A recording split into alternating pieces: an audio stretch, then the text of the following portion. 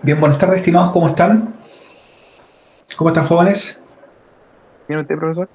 Muy bien, qué bueno que estén súper bien, que se cuiden, ¿cierto? Que, se encuentren bien con sus familias. Eh, vamos a dar ya inicio a la sesión. Eh, hoy día ya viernes 10. Eh, antes de comenzar la sesión correspondiente, ¿cierto?, a la materia del capítulo 10, que estamos viendo del curso CCN1, las notas, comentarle que las notas de la evaluación 3 ya están publicadas para que ya revisen la, la intranet ya tienen sus notas eh, de los ejercicios enviados y nos quedaría, ¿cierto?, la evaluación número 4, que sería la evaluación final, eh, que va a ser, ¿cierto?, dentro de este mes, dentro de un par de semanas más, y la cual ya eh, contendría gran parte del material del curso, ya gran parte de la materia de la última unidad. Para, ¿cierto? Para, para, dar más o menos los contextos de lo que vamos a trabajar hoy día, ya cuando vemos el capítulo 10 del curso, eh, indicando el material que hemos publicado, ¿cierto? Los ejercicios que le di el día luz, el día martes, para los que estaban más avanzados, habla de la capa de aplicación y los servicios que corren sobre ella, ¿ya? Así que vamos a revisar hoy día el capítulo, vamos a ver los contenidos que tiene, un resumen general, y la clase del día martes vamos a hacer ejercicios ya sobre servicios de capa de aplicación, ¿ya? Por lo tanto, vamos a configurar servicios como SSH, servicios como conexión remota también como Telnet, servicios de HCP, DNS, web y correo, ¿ya? Así que hoy día damos las instrucciones. Quienes no han leído la materia, es importante que la revisen, la lean. Eh, ya está publicada en el aula virtual. Eh, los contenidos que estamos, estamos viendo hoy día eh, están publicados desde el lunes, desde el martes, perdón. Y hay un ejercicio también que les compartí de práctica, para que lo vayan desarrollando y mejorando para la siguiente evaluación. Bien, entonces, el contexto de la clase de hoy, ¿cierto? Vamos a repasarla en este, en esta, en este bloque de aquí a, a, las, a las 4. Y bueno, si tienen preguntas, ¿cierto? A medida que vamos revisando, las van dejando en el chat para que las vamos respondiendo.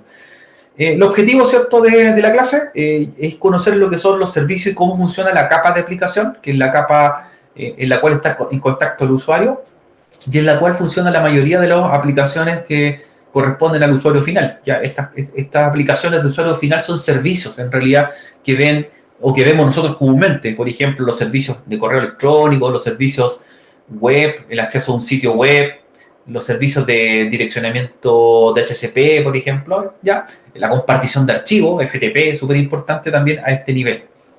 Así que eso es el objetivo de hoy día. Entonces, ver los protocolos de capa aplicación, ver cuáles son los más reconocidos dentro de la gama que existe, nosotros vamos a ver los más usados, y finalmente eh, dejar pie para que la próxima clase hagamos los ejercicios correspondientes a estos temas. Eh, bien, recuerden, las preguntas, ¿cierto? Las pueden ir eh, y dejándolas en el chat. Las pueden ir eh, dejando para que las vamos respondiendo a medida que avanza la clase. Con respecto a la capa de aplicación, ¿cierto? Como mencionamos, la capa 7, en la cual es una interfaz que, anexa los datos que vienen, ¿cierto? A través de capas inferiores en cuyo proceso se llama encapsulación, hasta que llegan a ser eh, tangibles o visibles por el usuario mediante algún tipo de aplicación, valga la redundancia. Si la capa de aplicación tiene ese nombre, también existen aplicaciones o software que trabajan en esas capas que permiten que nosotros veamos los contenidos que traen. Por ejemplo, si yo quiero ver un sitio web, yo requiero de un software que es un navegador web, ¿cierto? Ya sea Chrome, Mozilla, Explorer, Edge u otro, que me permite interpretar el contenido que viene del código fuente de un sitio web para hacerlo visible, para poder entenderlo, ¿cierto? Ver un elemento más gráfico. Lo mismo si necesito subir un archivo, por ejemplo, a una nube de, de, compartición de archivos, necesito alguna interfaz como un programa para poder, ¿cierto?, arrastrar el archivo y subirlo. Entonces, la capa de aplicación, eh, eh, como estamos mencionando, existen muchos software o aplicaciones que permiten conectarnos con nosotros y ver un, un servicio final. Por ejemplo, eh, si queremos ver una película en línea, eh, como Netflix, de Netflix o de Amazon, requerimos tener una aplicación en nuestro dispositivo móvil, ¿cierto? En nuestro, en nuestro televisor, en nuestro computador. Y esa aplicación es también una aplicación o software de capa 7. Por lo tanto, esa aplicación o software de capa 7 interpretan los datos binarios que vienen, ¿cierto? En capas inferiores, los paquetes IP, las direcciones MAC, las tramas, los puertos y todo eso, y me lo hace visible. Entonces, funcionan a nivel de capa 7. Todo programa o aplicación que permite interpretar un dato es de capa 7. Capa del lado del usuario. Por ejemplo, ahí tenemos ya un resumen de varios tipos de protocolos o servicios que trabajan en capas de aplicación, que las nombramos al principio. Por ejemplo, los sistemas de nombre de dominio, los DNS, que son fundamentales para el uso de búsqueda de sitios en Internet, ¿ya? que nos asocian nombres a direcciones IP. Tenemos los servicios de correo con los puertos correspondientes. Tenemos los servicios de dirección IP dinámicas, DHCP tenemos los servicios de transferencia de archivos como FTP y así un sinfín de servicios que se caracterizan por ser de capa de aplicación, capa 7. Por lo cual, para poder visualizarlo, requieren de todas las capas y todos los procesos que ocurrieron en las capas anteriores, ¿ya? Tanto en el modelo OSI como en el, con el modelo TCP/IP. La capa de presentación, ¿cierto? Que es la capa anterior a la capa de aplicación. Si nosotros comparamos el modelo OSI, hay tres capas que trabajan en conjunto, que es la capa de aplicación 7, presentación y sesión, que en el, modelo TCP/IP es una sola, ¿cierto? En el modelo OSI son tres, pero estas capas permiten o tienen que trabajar en conjunto para que podamos ver el resultado final. Por lo tanto, la capa de presentación es la capa que se encarga, recuerden, antes de la capa aplicación está la presentación, la capa 6, y es la que se encarga de codificar los datos que vienen en las capas inferiores para hacerlos visibles en la capa de aplicación. Es decir, al codificarlo se refiere que me muestra cómo realmente son. Si, por ejemplo, en capa inferior yo traigo bits, aquí ya me muestra que ese bit se transformó en un archivo, por ejemplo, de video, en un archivo eh, MP4, o que se transformó en un archivo de texto, un PDF. Entonces se encarga de hacer ese proceso. La capa de presentación se encarga de eh, interpretar, ¿cierto?, el dato que viene inferiormente y, también se encarga en parte la seguridad, en encriptar los datos para que vayan, viajen seguros. Muchos protocolos de seguridad trabajan a nivel de capas de, ¿cierto? de capas de presentación. Se encargan de asegurar que el dato viaje correcto, que el dato, por ejemplo, no sea vulnerado. ¿ya? En el caso de los protocolos eh, web, el protocolo HTTPS, que utilizan los sistemas bancarios, se encarga que por ejemplo, aseguremos que nuestras contraseñas no sean capturadas, ¿cierto? Que nuestro tráfico sea seguro. Entonces, en ese nivel están trabajando eh, ciertos protocolos que se encargan tanto de la codificación, la encriptación de los datos que va a mostrar al usuario y que también eh, en el formato con que van a llegar. La capa, y la capa que está un poco más abajo, que es la de sesión, la 5, por eso hablamos de las 5, 6, 7, las tres últimas, la capa de sesión se encarga de mantener ¿cierto? O indicarme desde dónde viene ese dato que yo voy a mostrar finalmente, ¿cierto? Generar un, puente origen-destino. Viene de un servidor yo lo estoy bajando hacia mi equipo. Por ejemplo, estoy generando una comunicación entre, por ejemplo, cliente-server. Cuando nosotros nos validamos en una red social, por ejemplo, usted entró a Facebook, a Instagram, a TikTok, a la que sea, usted está poniendo datos o credenciales para acceder, usuario, contraseña, correo electrónico, password, en, los sitios bancarios pone una, un root y contraseña. Y ahí estamos empezando a comunicarnos con un servidor y, tiene, y tenemos que quedar conectados un tiempo determinado hasta que cerremos una sesión, ¿ya? Hasta que finalmente nos desconectemos. Y eso ocurre en la capa de sesión, en la capa 5. Se encarga de mantener activo una comunicación entre nosotros y un servidor remoto. Mientras estemos conectados, se genera una transacción en la capa de sesión. A eso se refiere, ¿cierto?, el proceso. Y cuando terminamos de usar un servicio, hay que desconectar.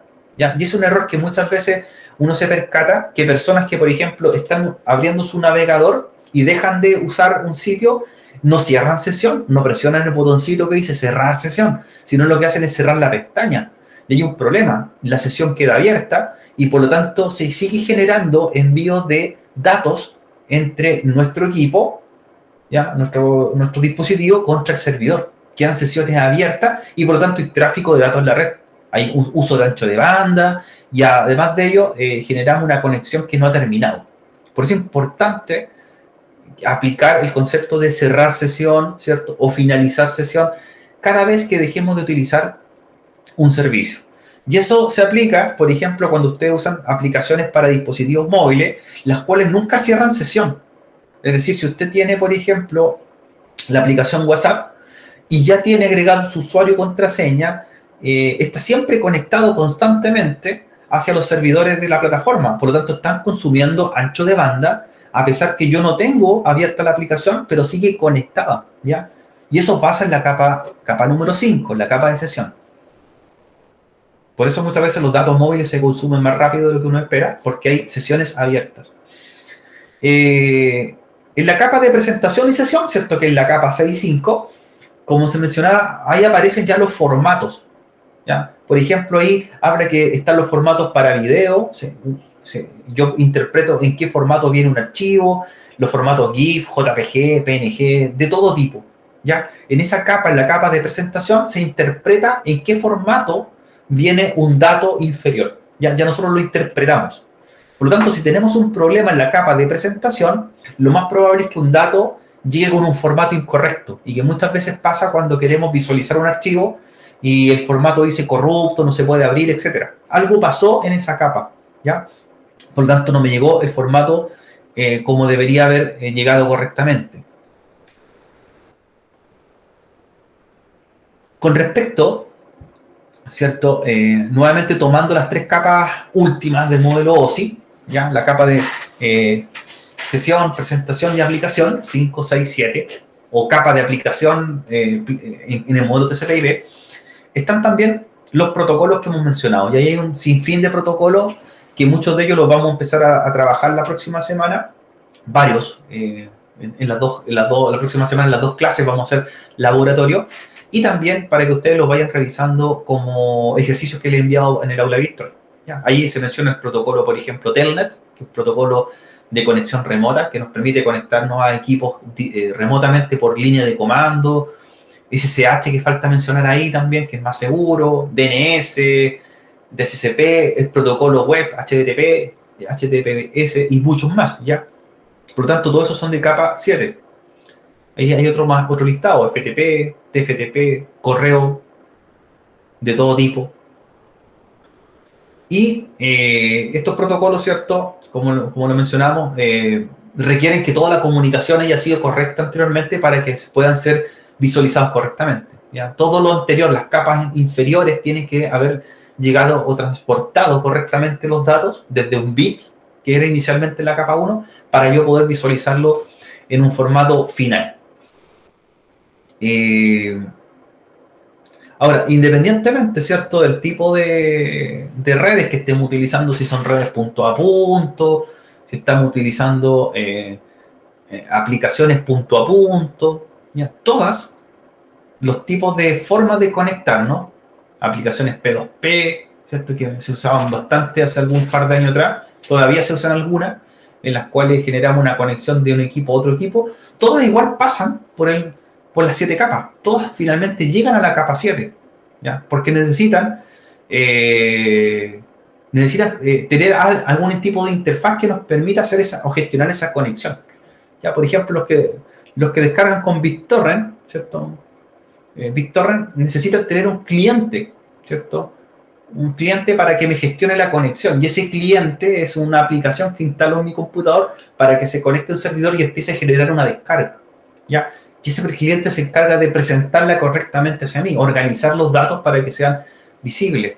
Antiguamente, yo, conocí varios de estos protocolos que están por ahí mencionados, eh, de finales de los años 90, que eran los primeros gestores P2P que habían. Gestores P2P o gestores de descarga. Eh, por ejemplo, Emul, yo conocí Ares, Audio Galaxy, Napster, que permitían, por ejemplo, eh, descargar archivos multimedia y en donde yo instalaba un programa que era de capa de aplicación, se conectaba con otro usuario y yo empezaba a sacar el archivo del otro usuario eh, por parte. Se generaban conexiones y finalmente tenía que llegar el, archivo correcto eh, a nivel de capa 7. En el modelo cliente-servidor, ¿cierto? Ya como mencionamos el modelo P2P, que también pasa con las 7 capas. En el modelo cliente-servidor, que es el modelo actual, nosotros hacemos lo mismo, tenemos que tener aplicaciones por el lado del cliente, interfaces, ¿cierto?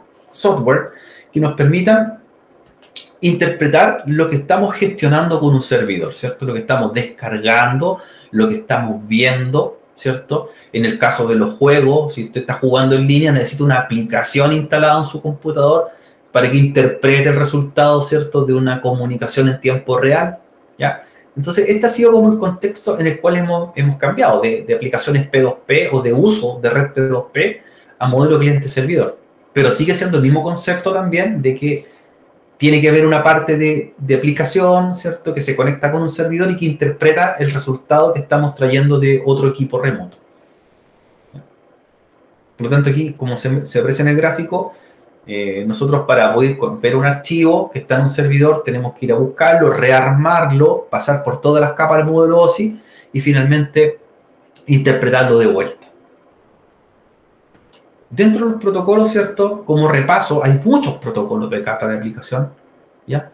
Hay una gama bastante alta, pero aquí nuevamente se repasan los más cotidianos, los que usamos a diario en realidad. Por ejemplo, HTTP, desde el momento de abrir un sitio web estamos usando HTTP, ¿cierto? Para poder ver un sitio cargado en un navegador, que se conecte de un servidor y me interprete un resultado de vuelta. Enviamos correo todos los días, por lo tanto ahí aparecen los protocolos SMTP y POP, ¿ya? un protocolo se encarga de eh, enviar el correo electrónico, el cual es SMTP, y otro lo recibe. ¿ya? Son buzones de correo electrónico, bandejas de entrada, bandejas de salida. Eh, por ejemplo, aquí se gestiona una, una, conexión del momento que yo abro una URL, ¿cierto? Un localizador universal de recursos, URL, abro una, una ruta, ¿cierto? Con el protocolo HTTP, ¿cierto? Ahí puse cisco.com y lo que abro finalmente es un archivo que está en un servidor de tipo HTML y mi navegador, ¿cierto? Se encarga de interpretarlo y hacerlo visible, mostrarme qué es lo que trae el archivo. Si es una fotografía, un video, ¿cierto? ¿Qué tipo de contenido incrustado lo trae para que yo lo pueda interpretar, ¿ya? Por lo tanto, eso nos indica que los navegadores web son aplicaciones o programas de capa 7, ¿cierto? De capa 7 del modelo OSI. Como también existe el protocolo HTTP, también existe un protocolo en su versión segura que se llama HTTPS, ¿cierto?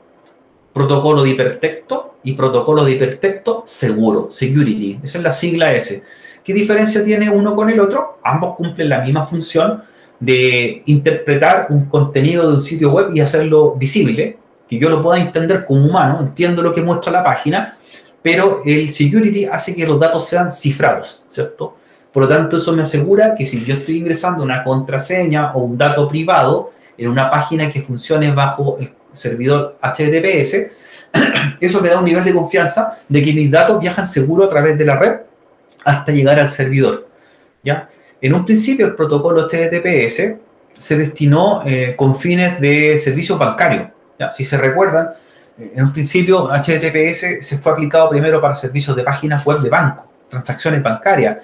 Luego fue destinado a transacciones comerciales, carros de compra, tarjetas de crédito. Todos esos sistemas que utilizaron transacciones en las cuales había dinero involucrado y datos que eran confidenciales. Y hoy día el, protocolo HTTPS es un protocolo ya estándar y dejó muy de atrás al HTTP. Eh, y por lo tanto, no solamente sitios que se dedican a la venta, al comercio electrónico o los bancos usan este protocolo, y sus servidores usan este protocolo, sino que hoy día es para todo uso. De hecho, las redes sociales, ustedes se dan cuenta que son con HTTPS. Usted abre Facebook y aparece el logo y el candadito, el candado en el navegador que me dice que esta página es de acceso seguro, ¿cierto? Estoy viendo un sitio seguro y estoy descargando archivos en forma segura hacia mi equipo. Los protocolos, ¿cierto? También eh, basados en, en capa de aplicación. Ahí están los tres protocolos de correo electrónico. ¿ya?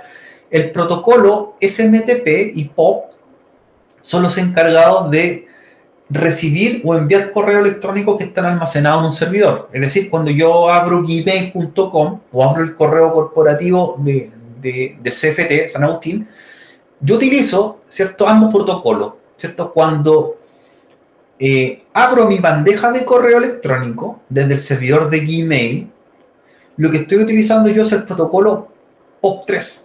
Por lo tanto, lo que estoy haciendo es eh, recibir correos entrantes a mi buzón cuando yo termino de redactar un correo y lo envío y viaje al servidor de correo para que le llegue un destinatario, lo que estamos usando hoy es el protocolo SMTP, el protocolo Send Mail Transfer Protocol, ¿cierto? El que envía, eh, el, en este caso, el correo electrónico desde mi, desde mi navegador o desde mi aplicación.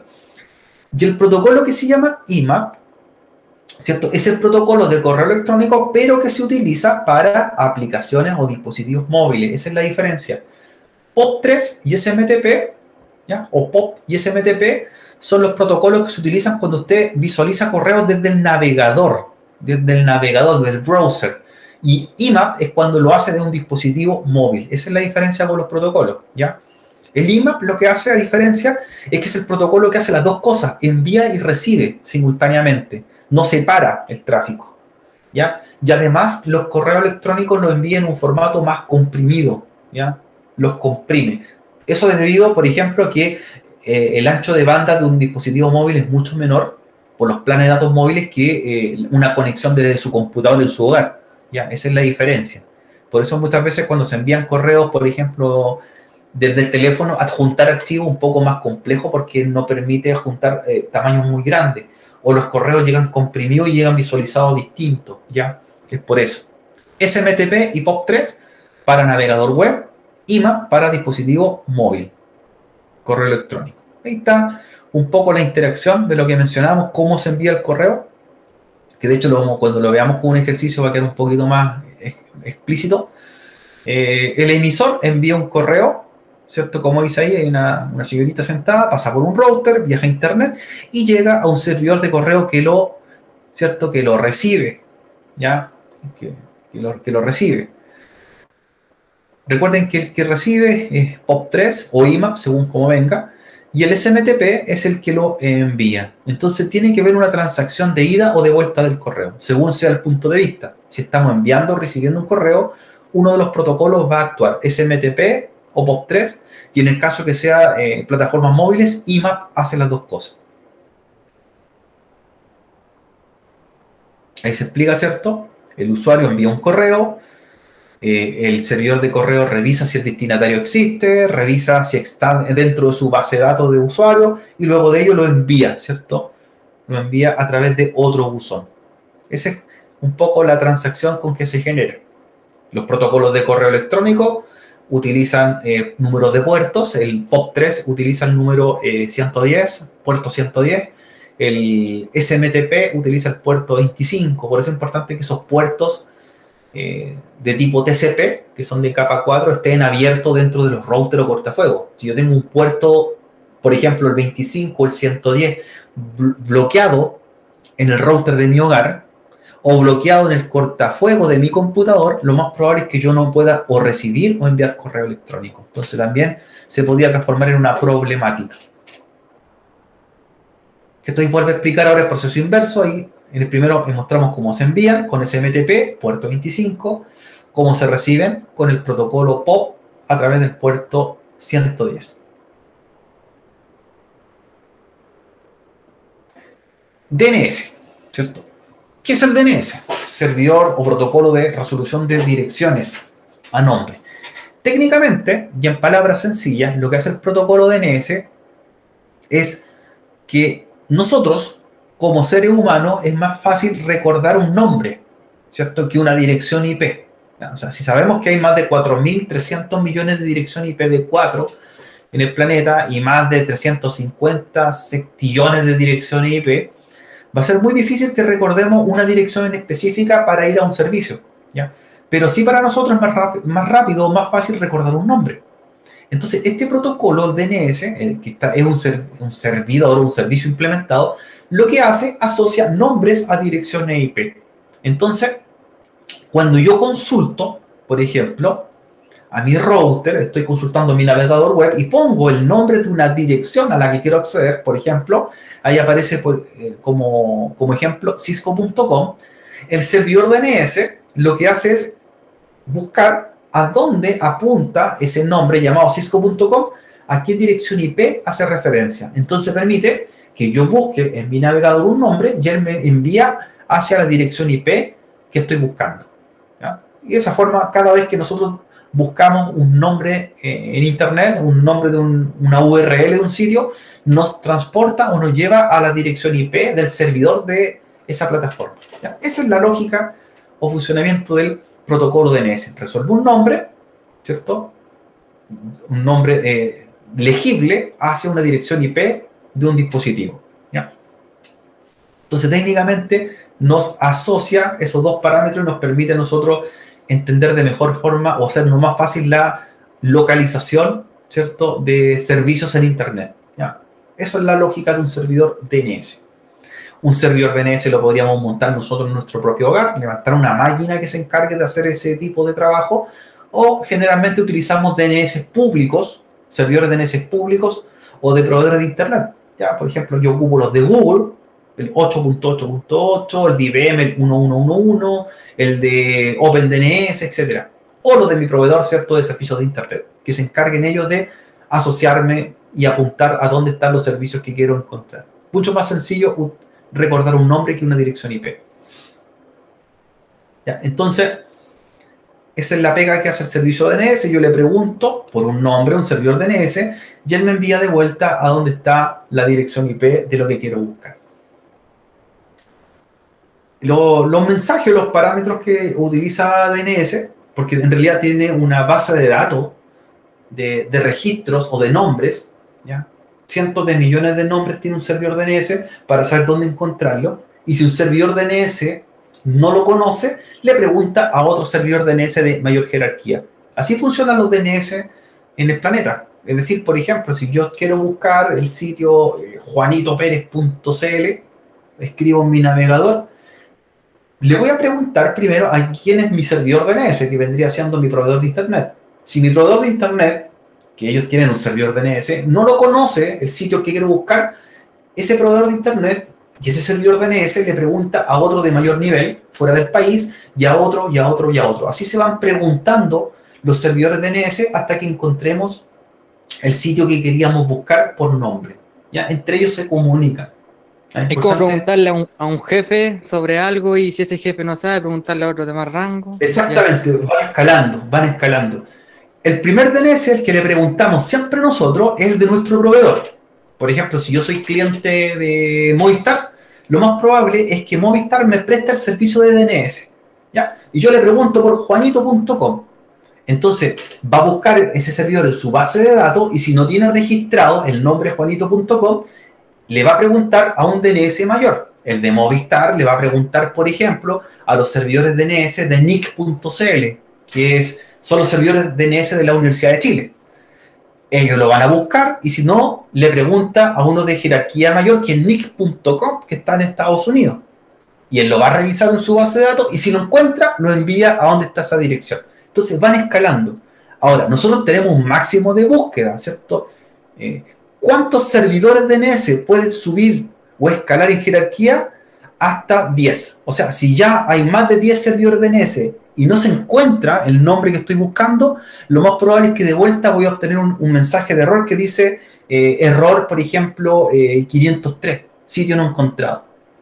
Es porque en realidad el nombre está mal escrito o nunca existió ese nombre que estoy buscando. ¿Ya? Por eso es importante también eh, entender el funcionamiento de los DNS. O si no, se formaría un, bucle sin fin, que trataría de, preguntar, preguntar, preguntar a otro, a otro, a otro, nunca terminaría la búsqueda. Tenemos un límite, son escala, escalablemente 10 servidores DNS hasta buscar si existe un sitio. Si después del décimo servidor DNS no encontramos el nombre, es porque simplemente lo escribimos mal o no existe en realidad el nombre al cual yo quiero llegar. ¿Ya? Ese es un detalle que tienen que considerar. Ahora, cuando se, registra esta información en los servidores DNS, dentro de los servidores tiene que estar registrado el nombre de dominio, nombre de dominio, ¿ya? Y la dirección IP de ese nombre de dominio, ¿ya? Por ejemplo, todos, todos los servidores web en el planeta tienen una dirección, ya sea IPv4 o IPv6, pero tenemos que llegar a ellas con un nombre. Entonces, ese nombre tiene que estar registrado en algún lado, en una base de datos de algo. Esa estructura tiene la siguiente característica. El A, ¿cierto? La letra A, el, que significa alias, ¿ya? Es la dirección del dispositivo final. Ese va a contener la dirección IP a la que quiero llegar. el NS es el nombre del servidor al cual yo le estoy preguntando, ¿ya? Por ejemplo, NS Movistar, NS Entel, NS Google, NS Claro, del proveedor al que yo le estoy preguntando. A es el alias de la dirección IP, de la dirección del dispositivo final, el servidor, la IP del servidor al que quiero llegar. NS, el nombre de la máquina a la que yo le estoy preguntando. El CNAME, ¿cierto? Es, eh, es un nombre que se dice canónico para identificar a un dominio, que muchas veces nosotros podemos buscar por varios nombres distintos y llegamos al mismo destino.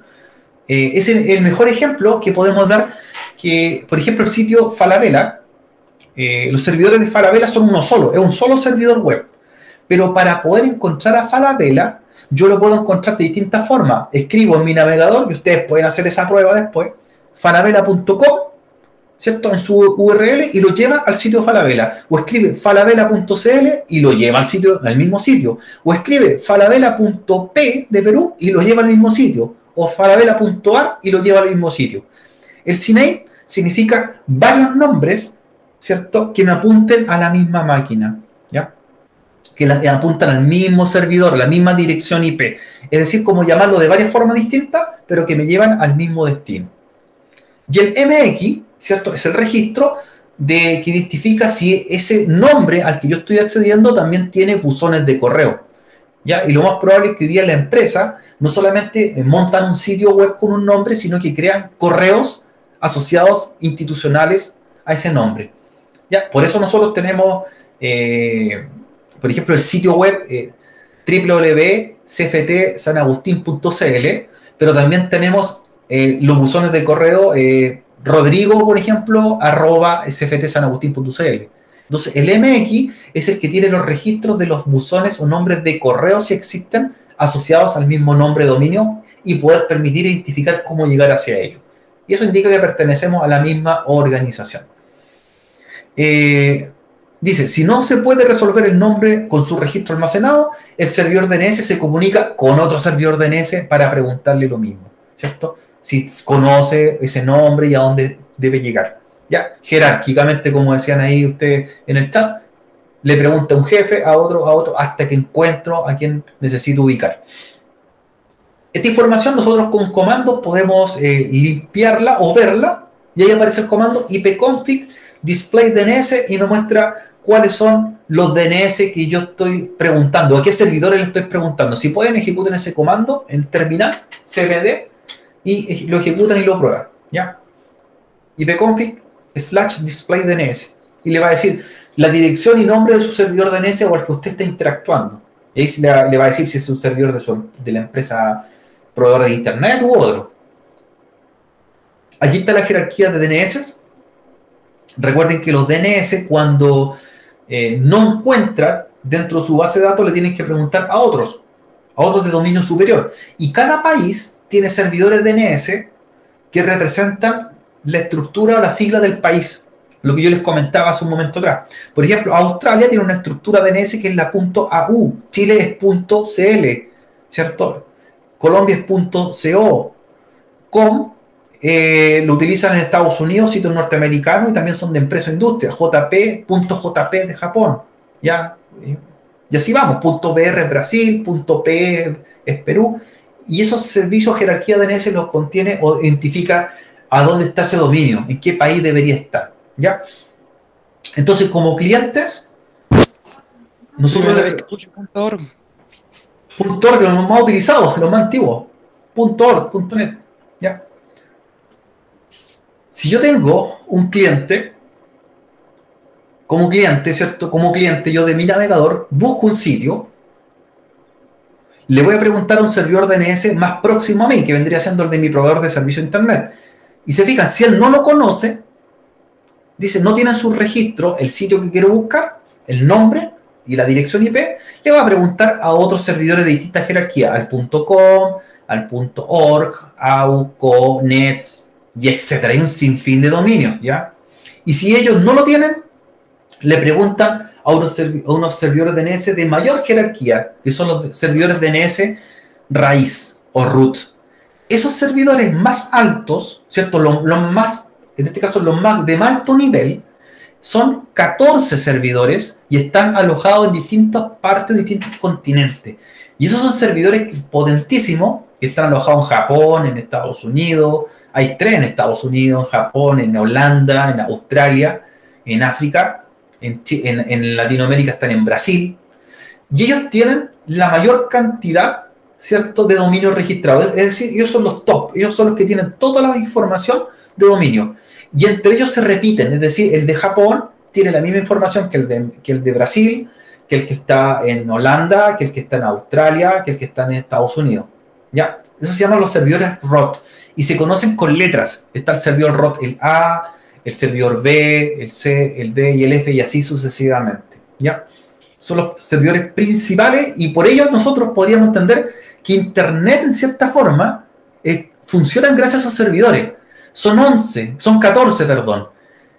Si fallasen, si fallasen de los 14, más de 7, por ejemplo, 8 fallasen, 8, si fallasen 8 por algún atentado político, por una guerra, los destruyesen, porque esos están alojados y escondidos en los data centers bajo tierra, ¿cierto? Un cracker. Si, si ocho fallasen, ocho fallasen, significa que Internet se vería, eh, se vería en cierta forma, las búsquedas en Internet se verían afectadas, ¿ya? Porque todas las búsquedas tienen que pasar por esos servidores, ¿ya? Todas las búsquedas que te hacen en Internet, todas, los nombres de dominio pasan por ahí. Entonces es importante que esos servidores eh, están protegidos, están cuidados y resguardados en cierta forma por los gobiernos que cada país se hizo cargo de ellos, ¿ya? Así que los servidores raíz o servidores ROT, si usted los busca, van a aparecer en qué lugar estratégico del planeta están y quiénes los administran, ¿ya? Servicios gubernamentales, servicios militares, universidades, y mantienen en, cierta forma la base de datos de todos los dominios del planeta, ¿ya? Nosotros cada vez que buscamos un sitio tenemos que pasar por ello comandos, ¿cierto? Para eh, ver cómo funcionan nuestros servicios DNS. Está el comando nslookup, ¿ya? Que ese comando, si yo lo ejecuto, me va a mostrar eh, a qué servidores DNS yo le estoy haciendo consultas, ¿ya? Para que también lo, lo hagan ustedes, lo ejecuten en su sistema operativo. ¿Ya? nslookup me muestra manualmente cuáles son los servidores de nombre a los cuales yo le estoy pidiendo respuesta o a cuáles yo le he preguntado algo. Entonces ahí también nosotros podemos verificar. Protocolo de HCP, ¿cierto? El protocolo de HCP, el protocolo que nos permite a nosotros resolver lo que son las búsquedas de dirección IP, es decir, en una red, cuando nosotros tenemos una red pequeña, lo más probable es que nosotros asignemos IP en forma estática, ¿ya? como lo vimos en la materia anterior. Nosotros asignamos la dirección IP para que cada dispositivo tenga su IP en forma fija. Pero muchas veces se hace complejo esa configuración, ya que tenemos muchos dispositivos por conectar y lo más adecuado sería tener un servidor de direcciones que le entregue o le asigne direcciones en forma automática al equipo de la red.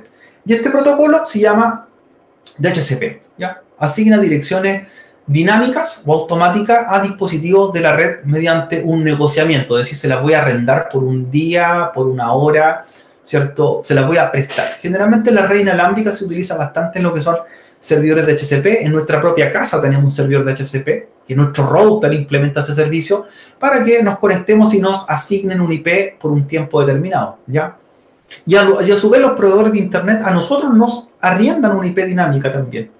Entonces, los servicios de DHCP los podemos usar para distintos fines, en el hogar, para red inalámbrica, ¿cierto? Para redes empresariales, pero generalmente se utiliza, ¿cierto? Para automatizar el proceso de asignación de IP y no tengamos que nosotros hacerlo manualmente, ¿ya? Ese es lo que hace el protocolo, Un servidor de DHCP podría ser perfectamente una máquina servidor con un sistema operativo o podría también ser un router al cual incorporamos este servicio y él se encarga de entregar direcciones IP. El funcionamiento de DHCP es súper eh, sencillo, en el cual el cliente, que viene siendo el equipo que quiere conectarse a la red, ¿cierto? Descubre o busca si existe un servidor de DHCP en la red, que puede ser un servidor, una máquina, un router. Esa máquina le dice, yo tengo IP disponible, ¿cierto? Y le responde, le dice, yo tengo, le ofrezco, le ofrezco un IP. Entonces el cliente le dice, está bien, entrégueme un IP. Y por último, el servidor finalmente le dice, aquí está la IP. Esos son los cuatro pasos que ocurren cuando tratamos de conectarnos a una red y tratamos de obtener un IP, ¿cierto? Descubrimos primero si existe un servidor de HCP, el servidor nos responde y nos dice, sí, yo le ofrezco una IP. Luego el cliente le dice, está bien, entrégueme un IP. Y por último le dice, aquí está la IP. ¿Ya? Esos son los cuatro pasos que para nosotros es rapidísimo, no alcanzamos a percatarnos, pero es el proceso que ocurre entre un cliente que quiere obtener un IP de una red. Cuando yo me conecto a mi red inalámbrica en mi hogar, ocurre eso también, ¿cierto? Trato de negociar que el router me asigne un IP y ver si hay un IP disponible y me lo entregue, ¿ya? Si no hay IP disponible, obviamente, hasta ahí llegó el proceso.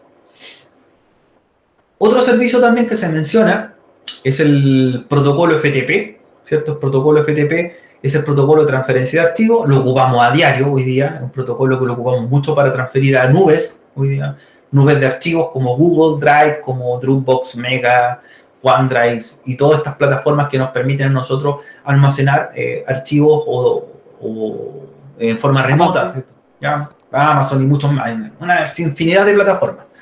Entonces, este protocolo FTP nos permite nosotros transferir archivos, ¿cierto? Almacenarlos en un servidor remoto y luego descargarlo cuando lo necesitemos.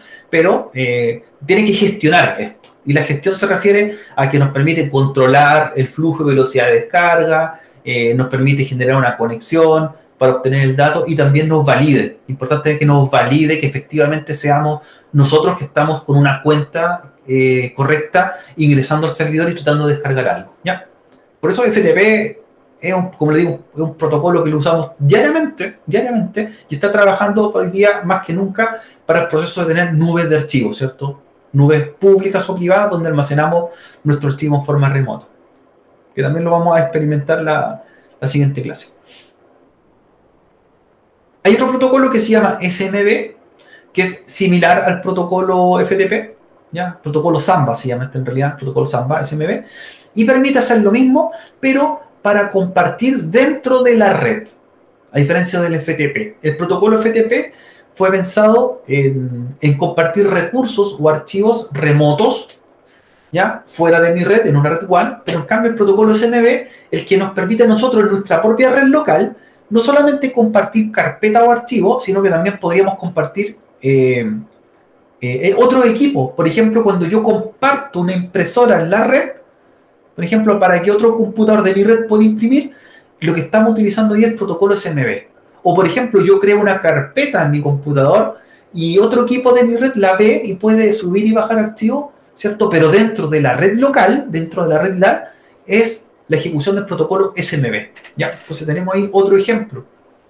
la diferencia del protocolo FTP con el SMB, aparte de que uno se ocupa netamente en, o es orientado el FTP a, redes remotas, en cambio el SMB a redes locales, es que el FTP se orienta a archivos solamente, transferencia o compartición de archivos y directorios.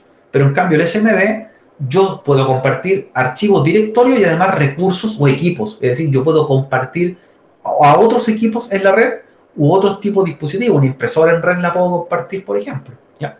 Ahí está la diferencia. En mi grupo de trabajo. Aquí ya se está aplicando, por ejemplo, en una carpeta compartida, un PC a otro PC le está copiando, ¿cierto? Archivos a través del explorador o carpeta. O sea, no solamente puedo compartir una impresora a otro equipo, sino que puedo compartir archivos como lo hace el FTP. Eh, todo esto que estamos comentando ha evolucionado netamente por el ámbito de Internet de las cosas o Internet de todo. Recuerden que Internet de todo, el concepto hoy día que ocupamos de Internet, que, conocíamos hace años atrás del Internet normal, ¿cierto? Que era redes que se conectaban con otras. Hoy día el Internet de todo es que se conectan todo tipo de aparatos, ya no solamente computadores, no solamente eh, se van a conectar servidores, sino que también vamos a conectar cualquier elemento que tenga dirección IP, un televisor, un Smart TV, una cámara de video, un sensor, ¿cierto? elementos que se conecten a la red, las cuales pueden ser monitoreados. Un chip, por ejemplo, con, con, tecnología 4G y se la conecta al collar de un gato, ya se transforma en un dispositivo de Internet de las Cosas. y estoy monitoreando la ubicación de un animal. ¿ya? No es una máquina, es un animal. A eso se refiere el concepto de Internet de las Cosas. Y por eso tantos millones de aparatos conectados cada día más. Se, esperaba que aproximadamente fuesen 37 mil millones de cosas conectadas para el año 2020. Cosas, no computadores, cosas. Eh, hoy día, sobre todo en la zona nuestra, eh, la zona central, acá en, Curicó, en la región del Maule, que hay zona agrícola, se requieren conectar y monitorear dispositivos. Y sobre todo ustedes como técnicos en redes quizás van a tener un ámbito laboral bastante grande. O sea, el área agrícola necesita monitorear. Quiero saber, por ejemplo, cuál es la temperatura de un huerto de manzanas que está en Teno entonces necesito conectar esos dispositivos a través de Internet y monitorearlos desde otro lugar. O los árboles, por ejemplo, cuál es el crecimiento de un árbol, que me mande la temperatura, la altura, eh, la salinidad, la humedad que tiene y controlar todos eso, esos datos. Sobre todo acá nosotros, como tenemos zona agrícola, necesitamos monitorear mucho información. Así que ahí el concepto de Internet de las cosas. Entonces, una manzana que estoy monitoreando o un parrón de uva no es una máquina, ¿cierto? Es un, elemento vegetal, pero está, es parte de Internet. Ya por eso eh, el concepto de Internet de las cosas va más allá que conectar máquinas, ¿cierto? Es conectar cualquier cosa. Y a corto plazo nosotros también nos estamos conectando cada vez más. Tengo una pulsera, ¿cierto? Un smartwatch que controlo la ubicación de mis pasos, lo envío a un servidor, para saber cuáles son los latidos de mi corazón. Estoy controlando y monitoreando a personas también. ¿ya? Por eso Internet las Cosas como concepto es bastante global. Eh, ya para ir finalizando, ¿cierto? Hay una capa, una capa que, se, que ha crecido bastante, sobre todo este último, este último tiempo basado en la pandemia, que es una capa que está entre la capa de aplicación y transporte, que es el stream o streaming, ¿cierto? Hoy día, esa capa eh, que mencionamos es la capa de transmitir en tiempo real. Es decir, uno de los servicios más utilizados hoy día en Internet de las Cosas es el video en línea, ¿cierto? Hoy día, transmitir en vivo. Y hoy día nos damos cuenta que se está ocupando para la misma clase que estamos haciendo ahora, una transmisión de tipo stream ahí, que está entre capas de aplicación y transporte, y que requiere un costo mayor de datos. ¿Cierto? Porque no es lo mismo, por ejemplo, ver una clase, una videoclase síncrona que asíncrona, ¿cierto? Asíncrona se refería a que yo la grabo, la subo y ustedes la ven después en la noche o la ven mañana. Por lo tanto, la ven cuando puedan conectarse. Pero en cambio, una clase como la que estamos haciendo ahora en vivo, de tipo síncrona, ya es una clase de streaming. Una, clase, una videoclase streaming, porque la estamos transmitiendo en vivo, el audio y video, y la están recibiendo al instante. ¿ya? Entonces, por eso nosotros estamos utilizando tanto este concepto en entre las capas de aplicación y transporte. El stream ha sido uno de los servicios más utilizados en los últimos meses eh, con respecto a la, a la pandemia. Y además el stream tiene las mayores dificultades o problemáticas que pueden haber para transmitir, ¿cierto? Hay pérdidas Muchas veces el video se pierde, el audio se pierde, hay congestión en la red. ¿ya? Cuando esos mensajes viajan, muchas veces tienen algún tipo de pérdida, por lo tanto hay que tratarlo de una forma distinta. Si se fijan, el stream que están recibiendo ustedes de la capa aplicación venía de la capa transporte, venía de la capa de paquete, ¿cierto? Y venía más abajo de la capa física. Es decir, se van segmentando bloques pequeños de bits hasta que llegan finalmente en tiempo real con la menor cantidad de latencia o lags al destinatario. ¿ya? Y es el gran problema de las redes. ¿Cómo evito la latencia? ¿Cómo evito la pérdida también? ¿Y cómo hago para que el streaming sea lo más real posible y al mismo tiempo? Que no tengan desfases. Que el gran problema que ocurre también es la el desfase entre audio y video, ¿cierto? Muchas veces la voz eh, sale desfasada del video, los paquetes viajan a velocidades distintas y se rearman de una forma diferente, ¿ya? Y eso se marca mucho hoy día en las redes actuales. Y más aún con Internet de las Cosas, donde queremos ver en vivo lo que está sucediendo, ¿cierto? Yo estoy con acá vigilando una cámara que está en, ¿cierto? en otra ciudad y viendo cómo está en vivo. Ahí el streaming juega un rol bastante importante es importante que todo lo que llega a la capa de aplicación llegue en forma correcta, ¿ya? O sea, si yo lo que voy a mandar es correo electrónico, el correo electrónico usa un número de puerto, mencionamos que era 25 o 110. En el caso de la transferencia de archivo, el FTP usa un puerto que es el 21. Entonces también debo preocuparme de que los puertos de comunicación estén abiertos para poder llegar al otro lado, tanto en el emisor como receptor. Si estoy transmitiendo un servicio HTTP, también uso un número de puerto que es el 80. Y también debo asegurarme que esté abierto tanto en el emisor como el, en el que recibe. ¿ya? O sea, los cortafuegos son fundamentales ahí. Bien. Todo esto que vimos nosotros en la capa de aplicación, que vemos resultados, eh, finalmente vemos algo que ocurre. Estoy viendo una imagen, estoy viendo un video en línea, estoy jugando en línea, estoy viendo una película en tiempo real. Tiene una cantidad de capas inferiores, ¿cierto? Que se encargan de hacer que esto llegue correctamente. Y una capa final o capa de presentación donde hay aplicaciones o software que permiten interpretar el resultado, ¿cierto? Que está siendo enviado. Por lo tanto, todo lo que viene de abajo es importante para nosotros.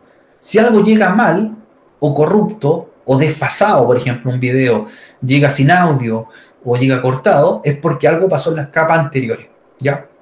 Nosotros en la capa de presentación, capa de aplicación vemos el resultado, pero también tenemos que entender qué pasó en las capas anteriores para que eso ocurriera correctamente, ¿ya? Y ahí aparece un sinfín de protocolos que son de capa de aplicación, ¿ya? Que nos permiten nosotros finalmente ver los resultados finales y como lo menciona ahí, la capa de aplicación es la que permite que los usuarios trabajen y jueguen a través de Internet. O sea, el, mayor uso de Internet, el resultado final llega a la capa de aplicación.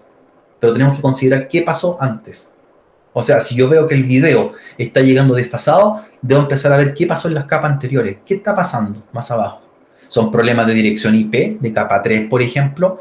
Son problemas de, tramas, direcciones MAC en los suites son problemas de capa física, los cables, el aire está con problemas, la fibra, son problemas de capa 4, ah, los puertos están abiertos bloqueados, por ejemplo, en un router, son problemas de capa 5, eh, hay seguridad de contraseña, hay capa 6, el formato, o capa 7, en la aplicación que estoy usando no es la correcta. O sea, debo hacer un análisis completo de todas las capas para ver por qué no me está funcionando un servicio. ¿Ya? Jóvenes, eh, no sé si tienen alguna pregunta, algún comentario ya final, ya que repasamos todo lo que corresponde a, lo que vamos a trabajar la próxima semana. Ahora vimos la parte teórica, la próxima semana vamos al laboratorio en Packet Tracer. Si tienen alguna pregunta más, antes que vamos finalizando, dudas, sugerencias, consultas. O sea que si falla algo, entonces la, la transferencia, entonces no hay video bien, por ejemplo en streaming. Claro, pues, principalmente. Porque nosotros en la capa de aplicación, como dice ahí, vemos el resultado, ¿cierto? Vemos el producto final. Pero tengo que empezar a ver qué pasa en las capas anteriores. Pues, ¿Cuál es el problema? ¿Cuál es el problema? O sea, en la capa 5, en la capa 4, en la 3, en la 2, en la 1, en la 6, algo está pasando. Y cada capa hay, pasa algo. Como mencionamos, modelo, en el modelo sin cada capa hay algo. Entonces, cuando yo detecto, ¿cierto? El problema, trato de mejorar el resultado en la capa de aplicación. Por ejemplo, si no estoy llegando, no estoy pudiendo ver un video en línea y me dice que hay un puerto que es bloqueado, quizás la capa 4 está en problema. Hay un puerto cerrado. ¿Ya? Por, dar un ejemplo. Si no me está llegando, por ejemplo, eh, la compresión de video correcta, por ejemplo, veo que el video no se ve correctamente, o se ve fragmentado, pixeleado, puede, ser, puede que sea un problema, por ejemplo, de la capa, eh, de, la capa de presentación, la capa 6 que no está haciendo la compresión de video o un códex no es el correcto para que yo visualice el archivo. Entonces, y así voy escalando, ¿cierto? O bajando de capa hasta ver cuál es el problema. ¿Ya? Jóvenes, ¿alguna pregunta más que tengan por ahí dando vuelta? No, ninguna, profesor. Ya. Entonces, como tarea, en la clase, en el aula virtual, revisen, aparte del video que vamos a subir hoy día, hay ejercicios, dice, de Packet Tracer de capa de aplicación, varios Packet Tracer. Ahí están, servicios de HCP, HTTP, FTP, SSH, están ejercicios con distintos servicios para que lo vayan haciendo esta semana y el martes, ¿cierto? Veamos uno en clase, pero ustedes igual hagan eso, pues, tienen que realizarlo. La forma de, de practicar y mejorar. Bien, Estamos. Estamos por hoy día entonces.